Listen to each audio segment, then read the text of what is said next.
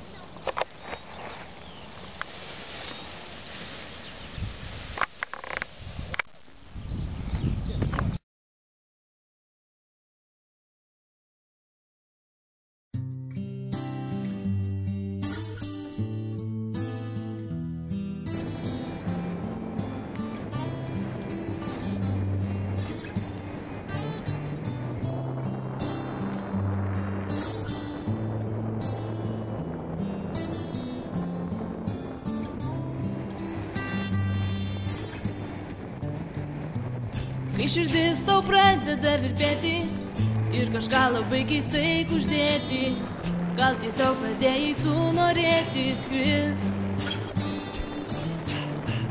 Jeigu nori dar labiau norėkit, užsimerk išties rankas į priekį, o paskui giliai giliai įkvėpkit, skrist. Kai žemė žemai,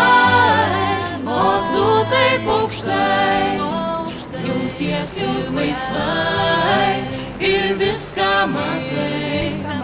Kai šitai arti, padangė žydra, matai ir jauti, net tai ko nėra. Ten žemai kažkur po tavo kojom, upės lankos ir laukai žaliuoja. Ir kažkas linksmai tau ranko moja štai.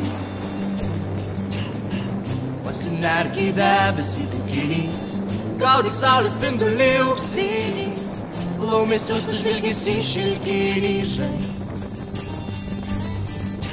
Žydrumo šionai daugiau nei juodo, skrendant viskas daug gražiau atrodo.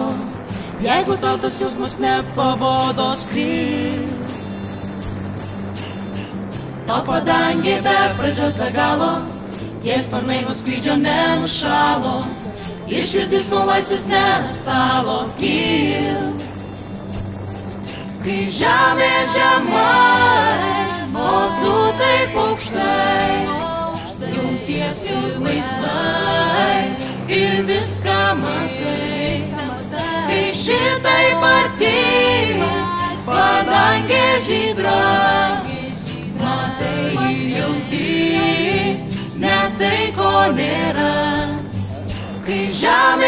žemai, o tu taip aukštai, jautiesi laisvai ir viską matai. Kai šitai arti, padangė žydra, matai ir jauti, net tai ko nėra. Kai žemė žemai,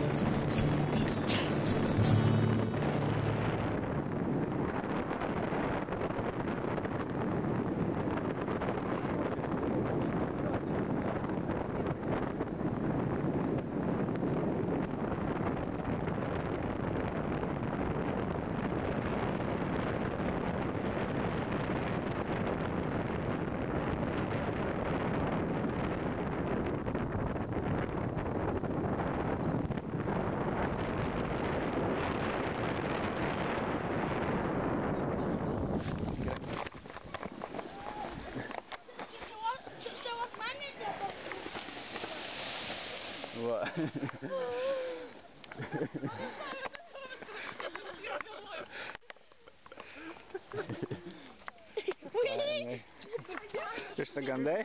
Kelias ilgas, geras. Jo, geras. O pirmai ten kaip būdavo, Jonas pro medžius, žinai, ir kaip bliavo grinai medžius leidžiamės, nežinai, ir taip nusikeliai, žinai, į medžius ir taip čiž, žinai, tada. Gerai.